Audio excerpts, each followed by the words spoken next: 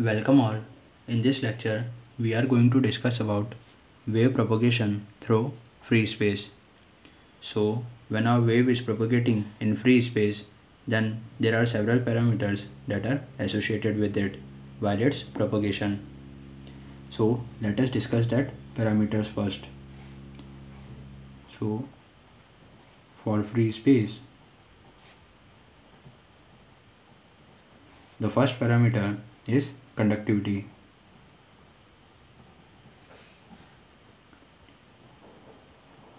Since the conductivity is represented by sigma and for the wave propagation in free space the sigma will always be equals to 0.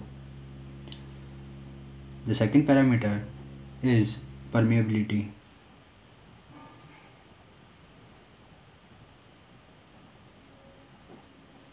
And the permeability will be represented by mu. Here in the free space the mu will always be equals to mu 0 only where this mu 0 represents the permeability in free space. Now let us have a look at the third parameter that is nothing but permittivity.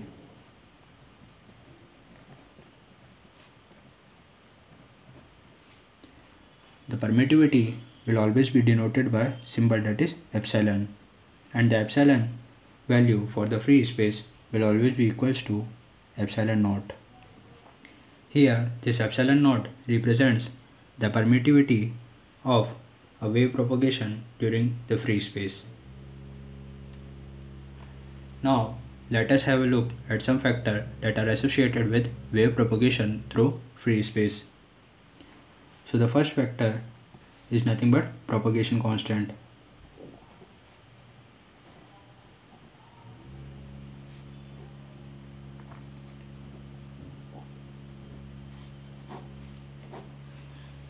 We know that the propagation constant is denoted by gamma only and in the derivation for the equation of plane wave we discussed that the value of gamma or the propagation constant is equals to under the root j omega mu sigma plus j omega epsilon. Now we discussed that the value of conductivity for the free space is equals to 0 only. So for free space the value of sigma is equals to 0. On putting the value of sigma is equals to 0 we get the propagation constant as under the root j omega mu and the remaining term will be j omega epsilon only. If we take out the j omega out of this under root then it will become j omega under the root mu epsilon. Since we know that for the free space the value of permeability is equals to mu 0 and the value of permittivity is equals to epsilon naught. So for free space mu is equals to mu 0 and epsilon is equals to epsilon naught. So on putting the value of permeability and permittivity we get the propagation constant as j omega under the root mu 0 epsilon 0 so this is the final value of the propagation constant when our wave is propagating in free space. Now let us have a look at the second factor that is attenuation constant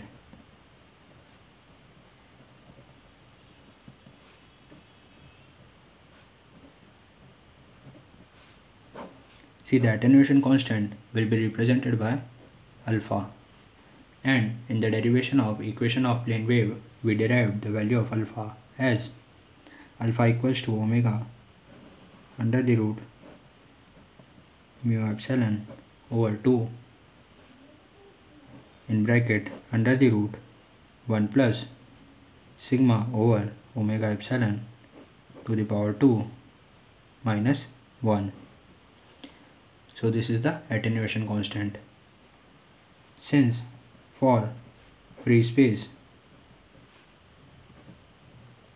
we know that the value of sigma is always be equals to 0 on applying the value of sigma equals to 0 this whole term will become 0 and the remaining will be 1 minus 1 so that will result into the 0 the 0 will get multiplied with this omega under the root mu epsilon by 2 so the final result of the attenuation constant will be 0 only so we can say that the attenuation constant is equals to 0 when the wave is propagating in free space. Now let us have a look at the third factor that is phase constant. A phase constant can be represented by beta. And we know that the value of beta is equals to omega under the root mu epsilon over 2 in bracket 1 plus sigma over omega epsilon to the power 2 this is under the root plus 1 so this is the value of phase constant. And we know that for free space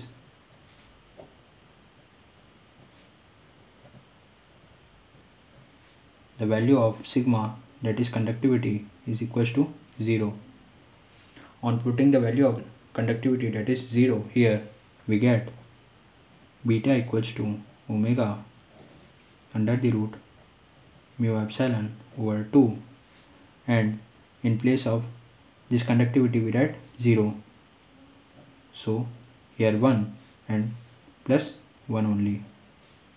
So 1 plus 1 will get 2 and 2 will get cancelled out with this 2 so the value of beta will be equals to omega under the root mu epsilon.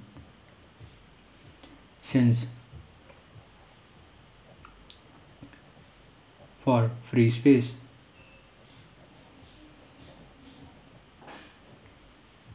permeability mu is equals to mu 0 and permittivity epsilon is equals to epsilon 0 so if we replace it then the value of phase constant will be equals to omega under the root mu 0 epsilon 0 so this is the expression for phase constant while the wave is propagating in free space.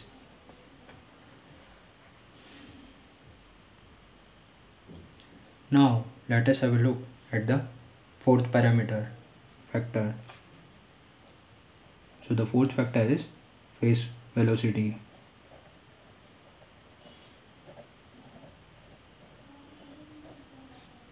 C. The phase velocity can always be represented as Vp that will be equals to omega over beta. Since we calculated the value of beta that is nothing but equals to omega under the root mu 0 epsilon 0. So we replace it with the value of beta. That is omega under the root mu 0 epsilon 0 so this omega will get cancelled out with this omega and the final value of phase velocity is equals to 1 over under the root mu 0 epsilon 0 so this is the value of phase velocity when the wave is propagating in free space. Now let us have a look at the fifth factor that is nothing but intrinsic impedance.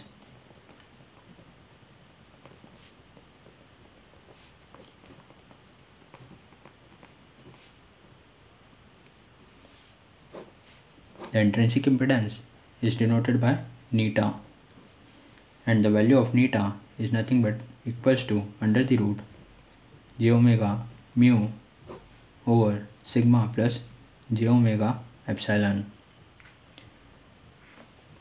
And we know that for free space the value of sigma is equals to 0 on putting the value of sigma that is equals to 0 we get the intrinsic impedance at under the root j omega mu j omega epsilon. This j omega will get cancelled out with this j omega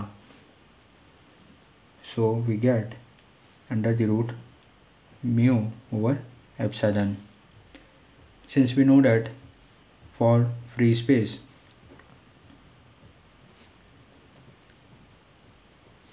the value of permeability that is equals to mu 0 only and the value of permittivity is equals to epsilon naught.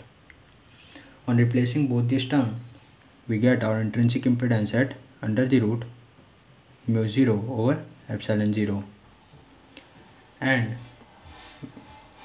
since the value of mu 0 over epsilon 0 is equals to 120 pi so on replacing the value of under the root mu 0 over epsilon 0 with 120 pi, we get intrinsic impedance is equals to 120 pi only. So this is the value of intrinsic impedance when the wave is propagating in free space. So this is all about the parameters and the factors associated with the wave propagation in free space. If you like my videos then do subscribe my channel and please hit the like button. Thank you.